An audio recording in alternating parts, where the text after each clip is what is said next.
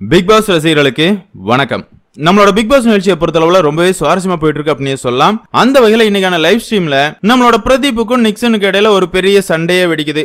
பிரதீப்பை பொறுத்தளவுல நிக்சனை பார்த்து உனக்கெல்லாம் தகுதியே இல்ல அப்படிங்கிற வார்த்தையை சொல்றாரு. இதனால கோவம் வர்ற நிக்சனை பொறுத்தளவுல பிரதீப் கிட்ட சண்டை எல்லாம் போடுறாரு. அதுக்கப்புறமா பார்த்தோம் அப்படின்னா நிக்சன் உட்கார்ந்து அழலாம் செய்யறாரு இதெல்லாம் பார்த்துட்டு பிரதீப் என்னப்பா இப்படிலாம் பண்றாரு? பிரதீப் பண்றதை பார்த்தா எனக்கே கோபம் வருதுப்பா. பிரதீப் பண்ணது ரொம்பவே தப்புப்பா. அப்படிங்கிற மாதிரி ரொம்பவே பொங்கிக்கிட்டு இருந்தாங்க. ஆனா கடைசியில பார்த்தா எல்லாரையும் நிக்சனே கதற விட்டார் அப்படின்னு சொல்லலாம். அப்படி என்ன நடந்துச்சு அப்படிங்கறத இந்த வீடியோல பார்க்க போறோம். அதாவது பிக் பாஸ் பொறுத்தளவுல ஒரு டாஸ்க் கொடுக்குறாரு. கோல்டன் ஸ்டாரை வாங்கணும் வாங்கணும்னு நினைச்சீங்கன்னா இருக்கிற எல்லா போட்டியாளரை விட நான் தான் சிறந்தவன் அப்படிங்கிற மாதிரி யார் பேசி ஜெயிக்கிறாங்களோ அவங்களுக்கு தான் அந்த கோல்டு ஸ்டார் அப்படிங்கிற மாதிரி சொல்றாரு. இந்த கோல்டு ஸ்டாரை பொறுத்தளவுல கூல் சுரேஷுக்கு தான் கிடைக்குது.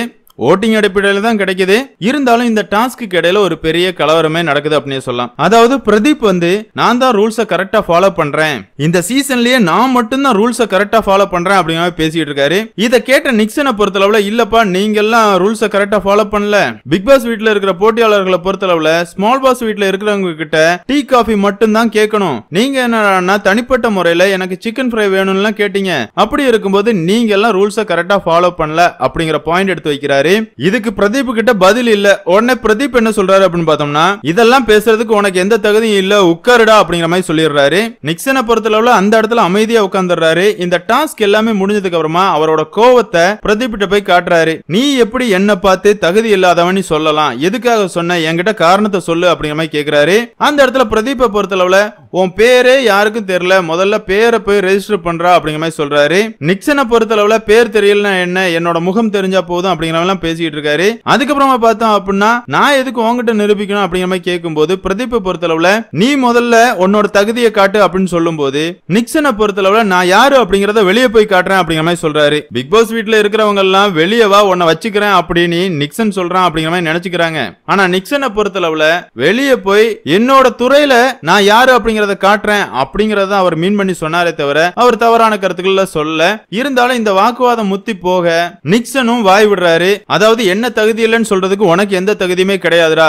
நான்லாம் ரொம்பவே கஷ்டப்பட்டு இந்த பிக் பாஸ் வீட்டுக்குள்ள வந்திருக்கேன். நீ எல்லாம் ஒருத்தனை அடிச்சிட்டு உள்ள வந்தவன் தானே அப்படிங்கிற வார்த்தையெல்லாம் விடுறாரு. அது மட்டும் இல்லாம அந்த கேட் எல்லாம் எட்டி உதைக்கிறாரு. இதெல்லாமே பிக் பாஸ் ரூல்ஸ் மீறுற மாதிரி தான். பிக் பாஸ் வீட்டுல இருக்கிற பொருட்களை சேதப்படுத்த கூடாது வயலன்ஸ் பண்ணக்கூடாது அப்படிங்கறது எல்லாமே ரூல்ஸ்ல இருக்கிறது தான். பிரதீப்பை பொறுத்தளவுல செமையா கேம் பிளே பண்றாரு அப்படிங்கறது தான் நம்மளோட கருத்து. அவரை பொறுத்தளவுல எல்லாரையும் உடைக்கிறது தான் அவரோட வேலையா இருக்குது. அந்த வகையில இவ்வளவு நாள் எல்லாருக்குமே நல்ல பிள்ளையா இருந்த நிக்சனை பொறுத்தளவுல நிக்சனுக்குள்ளயும் இவ்வளவு கோவம் இருக்குது அப்படிங்கறத வெளிக்கொண்டு வந்துட்டாரு. பிரதீப் அந்த இடத்துல ஜெயிச்சிட்டாரு அப்படின்னே சொல்லலாம். அதுக்கப்புறமா பார்த்தோம் அப்படின்னா மணியை பொறுத்தளவுல நிக்சனை தனியா கூட்டு போய் சமாதானப்படுத்துறாரு. அவரை பத்தி தான் உனக்கு தெரியும்ல. நம்மள ட்ரிகர் பண்ணி தான் அவர் கேமே விளையாடுறாரு. நீ எதுக்கு அவர் ட்ரிகர் பண்றதுக்கு ஆளாகிற அப்படிங்கிற மாதிரி சமாதானப்படுத்துறாரு. நிக்சனை பொறுத்தளவுல என்னதான் இருந்தாலும் இது ரொம்பவே கேவலமான கேம் மத்தவங்களை கோவப்படுத்தி விளையாடுறதெல்லாம் ஒரு கேமா அப்படிங்கிற மாதிரி சொல்லிட்டு இருக்காரு. மணியை பொறுத்தளவுல இதுதான்டா கேமு உனக்கு தெரியாதா அப்படின்னு சொல்லும் போது நிக்சனும் என்ன சொல்றாரு அப்படின்னு பார்த்தோம்னா இதுதான் கேம்னு தெரியும். இருந்தாலும் இவ்வளவு கீழ்த்தரமா யாராவது விளையாடுவாங்களா? அதுவும் தகுதியை பத்தி பேசுறதெல்லாம் ரொம்பவே தவறான விஷயம் அப்படிங்கிற மாதிரி ஒரு ஆர்குமெண்ட் எல்லாமே போகுது. அதுக்கு அதுக்கப்புறமா பார்த்தோம் அப்படின்னா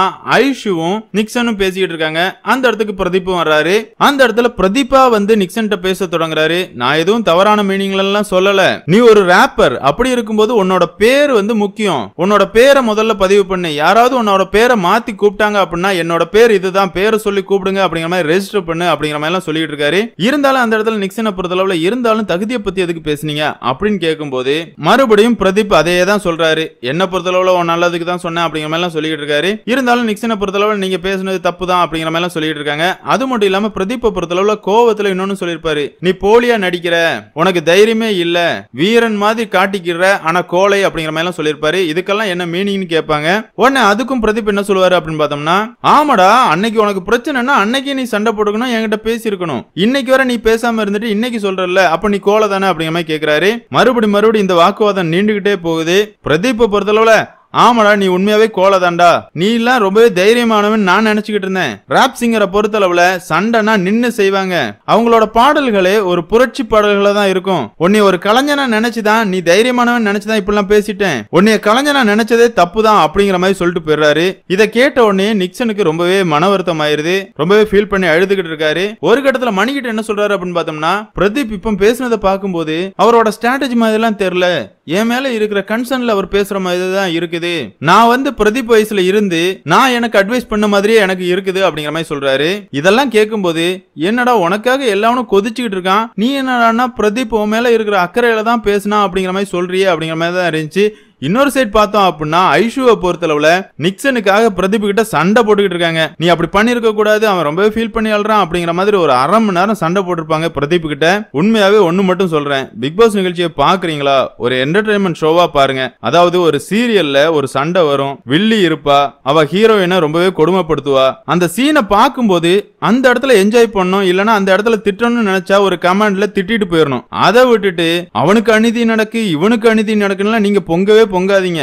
இதெல்லாம் ஸ்கிரிப்டட் மாதிரி தான் போய்கிட்டு இருக்குது. நேத்து பாத்தீங்கன்னா மாயா விஷ்ணு இவங்க ரெண்டு பேருமே சேர்ந்து பிரதீப வச்சு செஞ்சாங்க. இன்னைக்கு பார்த்தா ரெண்டு பேரும் கூடி கும்மாலம் அடிச்சுக்கிட்டு இருக்காங்க. நாளைக்கு நிக்சனும் பிரதீப்பும் இதே தான் பண்ண போறாங்க. இடையில நின்னுகிட்டு கொதிக்கிற நம்ம தான் முட்டாள். அதனால பிக் பாஸ் நிகழ்ச்சியை பொறுத்தளவுல வெறும் ஒரு என்டர்டைன்மெண்ட் ஷோ மட்டும்தான். ரியாலிட்டி ஷோ கிடையாது. நீங்க அப்படி நினைச்சு ஏமாந்து உங்களோட நிம்மதியை கெடுத்துக்காதீங்க அப்படிங்கிறது மட்டும்தான் என்னோட கருத்து. உங்களோட கருத்துக்களையும் மறக்காம கமெண்ட்ல மென்ஷன் பண்ணுங்க. இந்த வீடியோ உங்களுக்கு பிடிச்சிருந்தா லைக் பண்ணுங்க ஷேர் பண்ணுங்க. மறக்காம சேனலை சப்ஸ்கிரைப் பண்ணுங்க. Thank you friends